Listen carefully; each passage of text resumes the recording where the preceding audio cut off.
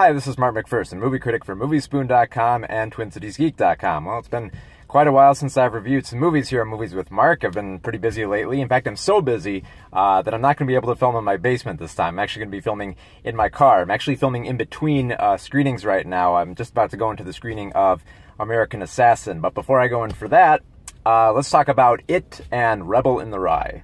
Our first movie is It, uh, based on the Stephen King novel. Most people remember the miniseries with Tim Curry playing Pennywise the Clown, and for a lot of people, that's how they mostly remember it.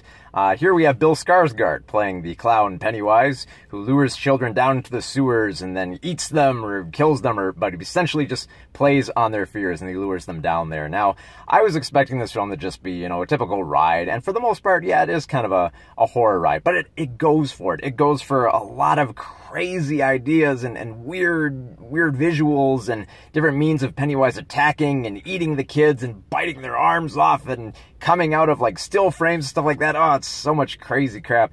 Uh, but but the the really surprising thing here is that uh, you actually get to know and like the kids that Pennywise is stalking here, and that's a good thing because like in the mini series, and I assume in the book, I haven't actually read the book uh, we spend a lot of time with the kids. And if you're going to spend that much time with the kids, you better like them. And you do like them. There, there's so much to like about these kids. Uh, they're a lot of fun. They, they get in the F word a bunch of times. You know, it takes place in the 80s and they, it feels a lot like Stranger Things. And of course, they use the kid from Stranger Things. So obviously, we're going to get that comparison. And, you know, yeah, there's a big resurgence right now of kind of like having the 80s in, in horror films. Like there was a film I think called like Beyond the Gate. But yeah, like the 80s are like a big thing now to like put in horror films. And they, they do it pretty well here. I mean, they mostly just keep the references in the background. I mean, yeah, you know, they, they mention like Michael Jackson in passing and you, you see the theater in the background. It's playing uh, you know, Lethal Weapon 2 and Batman and Nightmare on Elm Street Part 5. So they don't go too overboard with the references. They mostly keep them in the background, kind of like Pennywise. Um, they mostly keep Pennywise in the background here, mostly because we get to play on the fears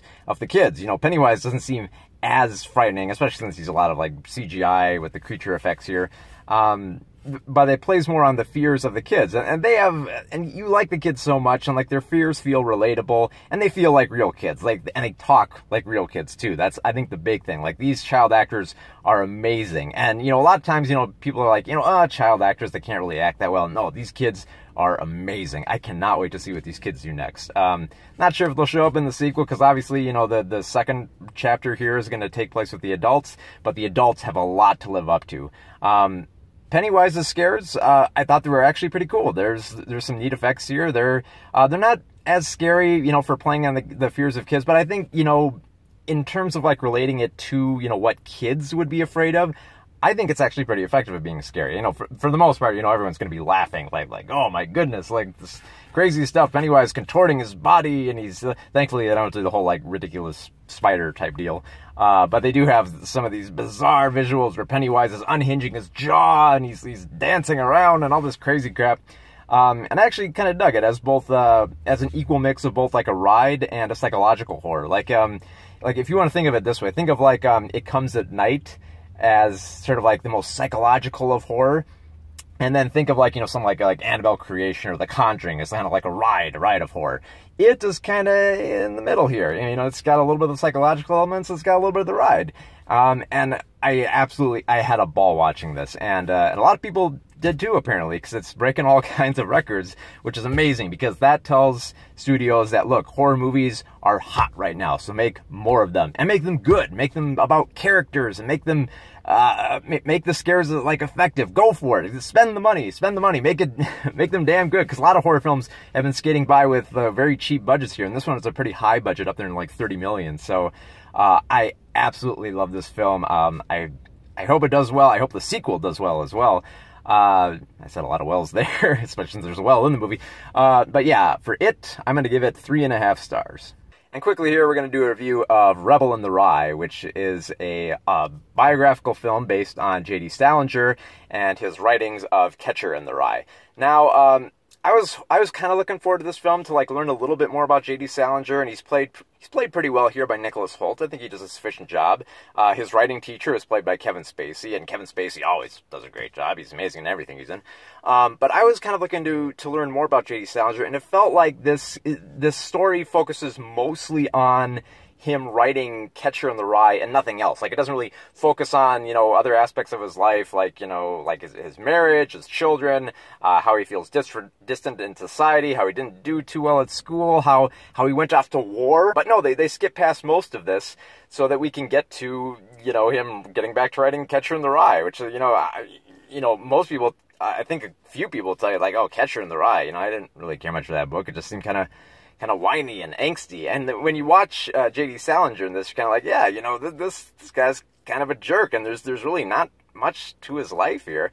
Especially the way that the movie kind of like peters out. Like it just feels like it's covering the key events of J.D. Salinger's life, and then we get up to that point where he, you know, pretty much goes into exile and cuts himself off from everyone, and just the, the movie just kind of peters out from there.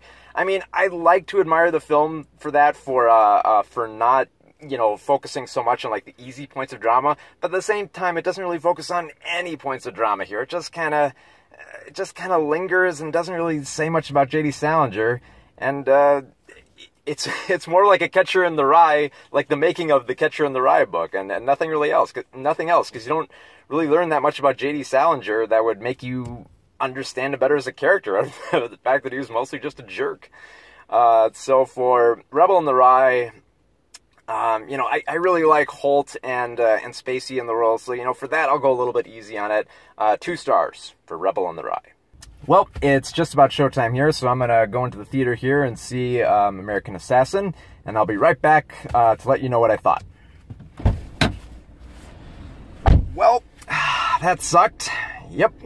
So, the American Assassin. Uh, this film makes one fatal flaw right from the very beginning that ruined the entire film for me, which is it relies on uh, the, the, current political climate of Iran with uh, with Muslim terrorists uh, it showcases like real footage, and and from that very moment, I, I, started getting really soured on the film. Okay, so here's how the film begins. It begins kind of like a typical thriller of a guy seeking revenge. Uh, Dylan O'Brien plays this young guy who's at the beach. He's just proposed to his girl, and he's filmed it, and everyone claps for him, and he goes off to get his girl drinks from the bar, and hopes that oh, hopefully nothing bad will happen to her when I go get her drinks. Well, turns out the worst thing happens to her. A bunch of Muslim terrorists come to the beach and start shooting up everyone in sight, and there's and, and when I say shoot up, I don't mean like, you know, they bring out guns and like fire and a couple people fall down. No, I mean there's like squibs going off and blood going all over the place, people getting shot in the legs and the face, and of course her girlfriend gets it right in the chest. And then again in the head. And then he gets it in the, the side of the stomach and the, the leg, and there's blood everywhere, and it's very gruesome. And now we, we skip ahead 18 months later, and he's on the hunt for revenge. He's going to infiltrate the Muslim terrorist group and take them all down somehow. But apparently the CIA has been tracking him because they think like, oh, this kid's pretty stupid for wanting to take down a bunch of Muslim terrorists, but maybe we can use him. Maybe he's a really great warrior that we can train. And so Dylan O'Brien ends up being trained by the CIA by Michael Keaton, who's been a, a veteran CIA operative, and he teaches them everything he knows in the field. And the first thing he teaches them is, you know, like try to kill me with a knife, and like they fight out in the field, and then there's a whole ridiculous virtual reality simulation. Uh, now they're sent into Iran to stop this uh, this stolen nuke deal. It's a fairly standard, you know, like a, there's a terrorist out there. Uh, and we have to stop him. And turns out he has like personal, uh, he has a personal agenda for wanting to set up this nuke and and blow it off somewhere within Rome around there, something like that. Uh, and of course, like Michael Keaton says, like one of the rules of working as a CIA operative is, you know, don't let it get personal. Don't get personally involved. It's going to screw everything up. And of course, things do get personal for both Keaton and O'Brien here. They both make the big mistakes of letting their uh, personal feelings get in the way. And it, the film, it just creates this very sour cynicism to everything where you feel like everyone is out to kill each other and nobody trusts anyone. Like at one point, you know, uh, uh, O'Brien is working with a uh, with an Iranian woman who's a CIA operative, but then he thinks like maybe, maybe, she's working for the enemy. Oh, she is working for the enemy, and starts like strangling her and everything. Um, and O'Brien, he keeps on having these visions of like the of the terrorists he wanted to kill, who he set his sights on to kill before, and he starts seeing him everywhere, uh, and he starts tracking down the Muslim terrorists and like shooting them, and and he's and O'Brien, you got to mention this, he's such an unlikable guy. Like from the moment after his girlfriend dies, he starts training at a gym, but he's he's he's way too violent, so they kick him out. Uh, the people at his apartment hate him because he's he's he stays up all hours of night and he's just like throwing knives at the wall. Um, and just he's such an unlikable guy, and he doesn't really do anything to to get over his girlfriend's death. It's just no, he needs to get revenge. He needs to kill. Needs to kill. Needs to kill. Which is like such unlikable characters. And it's like Michael Keaton, he's not really given much to do here with this character. Most of the time, uh, he's just kind of, you know, just giving his usual, like, Keaton grinning and, and kind of quick talking and trying to sound like a hard ass, which he does well enough, but, you know, for, for this material, they, they really makes him out to be a psychopath. Like, these, these guys are trained to be essentially just nothing but killers. I mean, these guys are supposed to be working with the CIA, but all they really train for is combat, just combat, combat, combat. And they're supposed to be doing these kind of like covert missions where they're undercover and everything. And it, I get the feeling like it's one of those thrillers where it was entirely written just so they could show off, you know, well, like, well, here's how like a CIA operative would hold a gun, and here's how this operation would go down, and here's here's how it leads up. It's kind of kind of like you know a little bit like like a Tom Clancy type book. I don't know. I've, I've never read the book, so I'm not quite sure uh, what this novel is like. But the way that this film plays out, it seems like it was more interested in military tactics uh, than it was with its characters. Which, again, I would have been fine with if they made it very heavily laser focus on the military angle here because then they bring in these like the, the, the politics of everything and and the, the personal vendettas and it's all this like cliche stuff like like oh and there's oh my god, there's like a there's a horrible torture scene where Michael Keaton is electrocuted and sliced up and he's burnt and his and his fingernails are pulled off really slowly and it's trying to be as grotesque as possible and violent. And it's like this is a very ridiculous thriller about, you know, stealing a nuke and and it's trying to be like ultra violent. It's trying to be like very like political about everything. It's trying to showcase Muslim terrorists and everything. It just, and it just, it, it left such an ugly impression on me. I just, I, it was tough to get through this film, especially because it has its moments of like ridiculous comedy. Some of it's unintentional. Like at one point, O'Brien is stalking uh, uh, one of the, like the suspects, and he follows him to a hotel. But oh no, he has guard dogs, so he's got to stop the guard dogs. And he's and he's running over the, the tops of cars, like trying to escape these guard dogs that are chasing him across the cars. Like what film is this?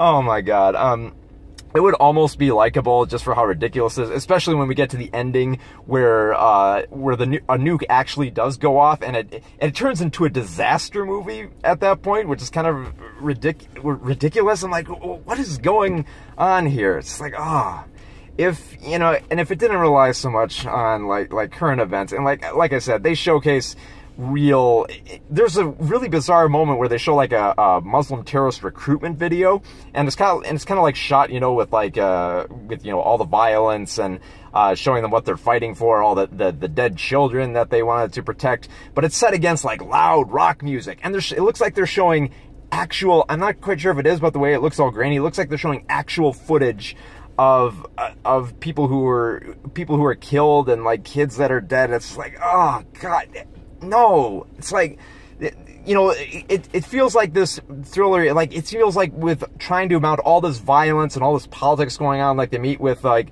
Iranian officials and everything, and of course they're working under the table and something evil is happening, and uh, there's all this stuff that's being built up, and none of it works just because, like, I hated the characters in this and just their cynicism and the sourness of it all and being overly violent and overly dark and not really finding a tone and trying to be silly and cliche and all these different tones. Like, oh, it's just, it was a draining film, man. It was just an ugly, draining film.